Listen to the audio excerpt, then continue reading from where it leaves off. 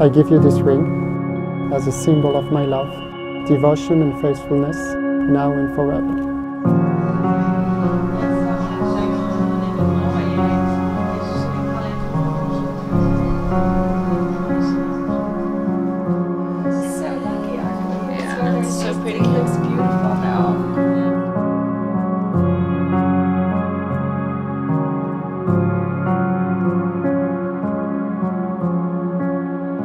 Is it really necessary in Jewish tradition to get married in Megève, high in the French Alps, on such a beautiful day?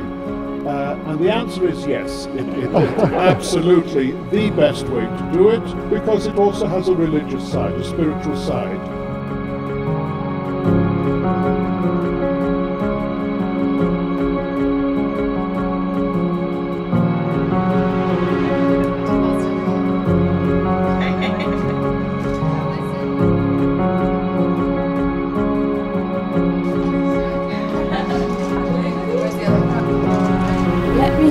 The marriage of true minds admit impediments. Love is not love which alters when alteration it finds, or bends with the remover to remove.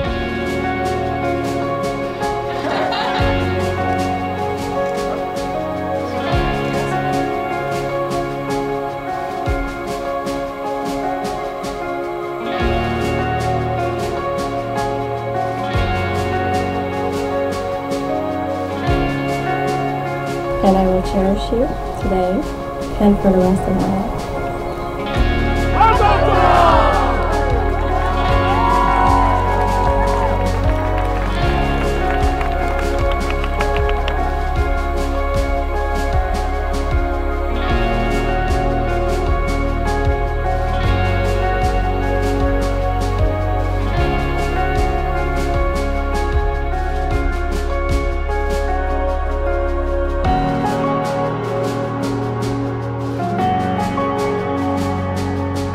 Welcome and thank you to all of you arriving from different countries to celebrate the wedding of Carolyn and Melvin at a date which has turned out accidentally the same date Carolyn's grandparents got married in 1945.